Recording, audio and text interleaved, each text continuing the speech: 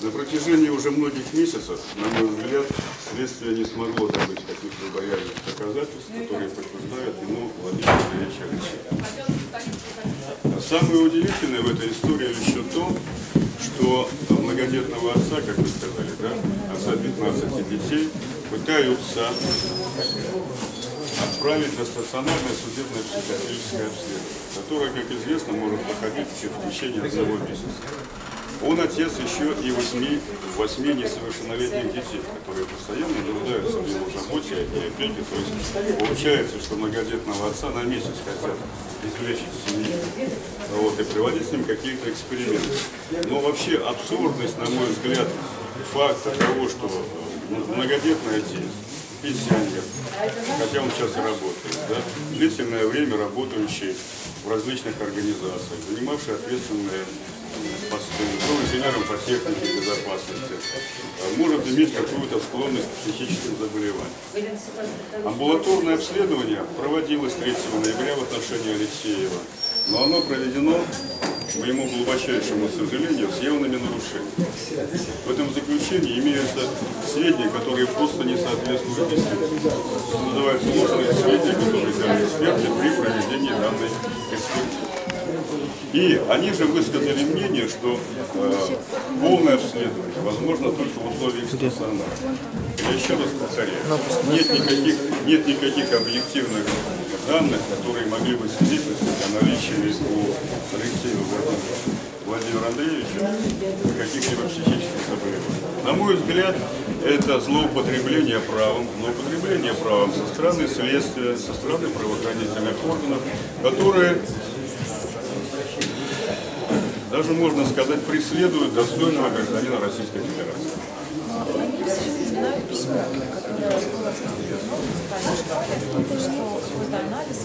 Даже просто если посмотреть, что написано, я считаю, что это уже написано человеком на своем мнении, потому что какие-то вещи странные.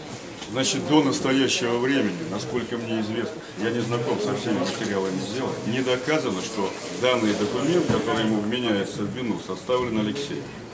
Это ксерокопия каких-то документов, солянка. Вот, часть текста, часть текста, возможно, писал Владимир Андреевич. Да.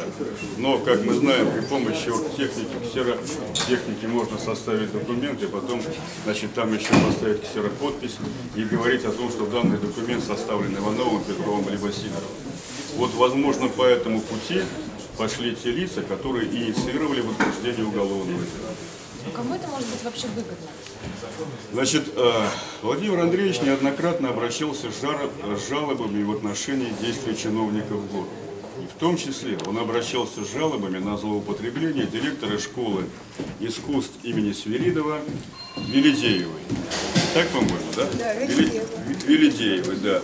Прокурорская проверка выявила ряд существенных нарушений в деятельности вот этого э, общеобразовательного учреждения. И в отношении Велидеевой было вынесено, насколько мне известно, представление об их устранении.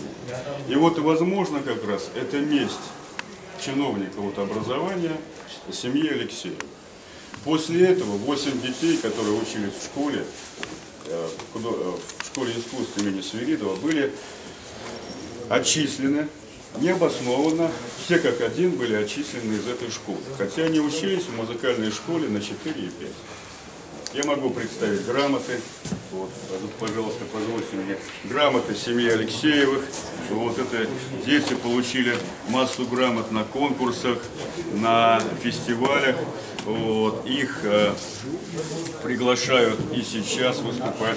Насколько мне известно, 1 или 9 мая они выступают на Дворцовой площади, их приглашает городская администрация. Это фактически единственный в России детский семейный духовой оркестр.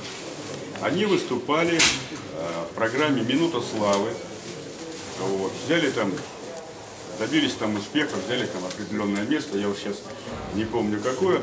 Но еще раз повторю, это единственный в нашей России, судя по всему, детский семейный духовой оркестр.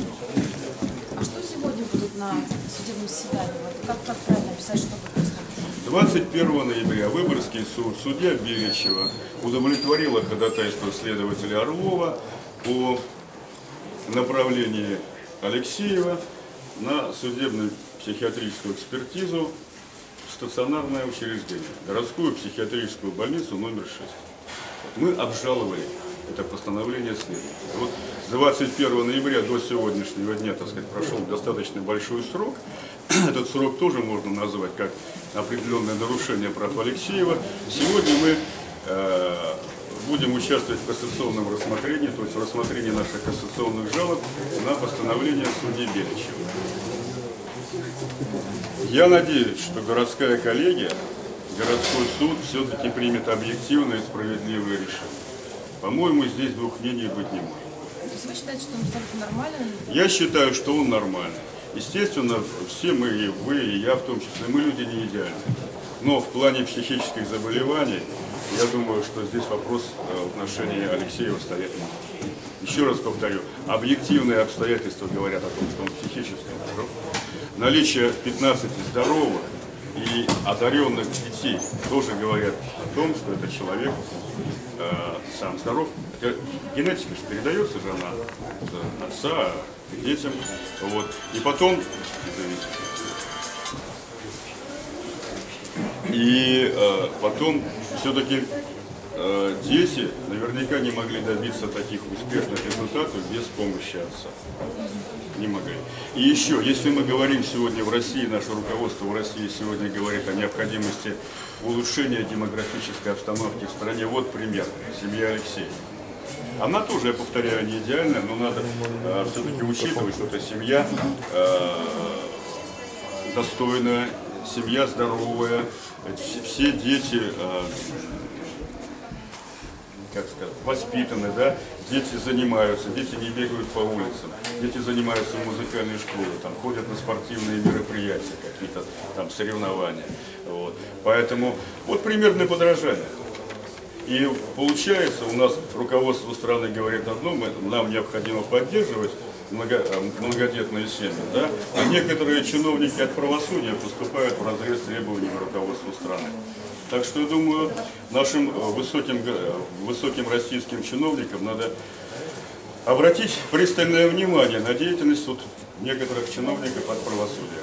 Почему так странно называет своих детей? Царь, государь, звезда и так далее. Но это не ко мне вопрос, конечно, это вопрос, наверное, к отцу, вот прежде всего. Ну, дело родителей. И насколько я знаю, дети э, не страдают от своих имен, наоборот, даже вот одна из дочерей, насколько мне известно, ее звали Наташа, она в 17-летнем возрасте попросила папа и мама, измените мне я хочу быть звездой.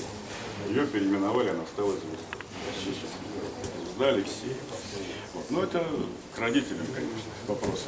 Не ко мне. Я что еще хочу сказать? Понимаете, вот вся эта вот судебная тяжба и вот это уголовное дело, оно выбивает из колеи от самого отца, мать выбивает, да, очень тяжело отражается на детях, они же растут. Там младшему 7 лет.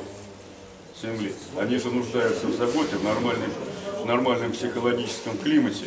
А если это уже длится, э, по-моему, больше 10 месяцев, ну это же стрессы для детей, это же вредно, плохо влияет на их рост, на их умственное, физическое развитие. Чего добиваются вот наши правоохранители в данном случае, понимаете, у меня вопрос. Поэтому я считаю, что вообще уголовное дело подлежит прекращению, на мой взгляд. Ну и тем более и наши кассационные жалобы, я опять же считаю, подлежат удовлетворению. Спасибо. Вам спасибо тоже. Так, последнее слово, да? Да-да-да, давайте помню, Рома, а вы можете сказать,